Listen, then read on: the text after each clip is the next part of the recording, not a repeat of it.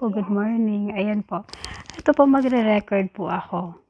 Requested po ito ni Mami Marilu. Ayan, so bale, nagtatanong siya kung saan makikita yung estimated revenue daw.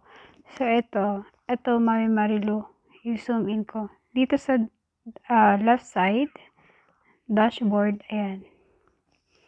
Ito po sa left side dashboard, may makikita ka po dito sa parang pala, uh, dito sa may parang gitna siya ito, makikita po dito yung go to channel analytics po. Ito po siya. So, pipindutin lang natin po ito. Pindutin lang po natin ito. So, bale, makikita po yung talagang uh, latest. Kung makikita nyo po ito, estimated uh, revenue ko is $15. Pero nung ano pa po ito, previous 28 days po. So, bali, pupunta po tayo dito sa right side. Dito po sa baba ng advanced mode.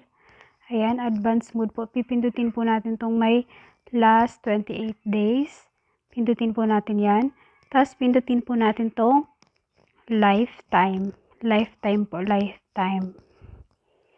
Lifetime. Yun. So, pagka lumabas na po yung lifetime, ayan po ang lalabas. Ito po yung pinaka-latest na ating revenue po. Estimated revenue. Ayan po, nakita nyo po, meron po ako 74.27 po ang aking revenue po. Ayan. Sana nakatulong. Ayan po, God bless.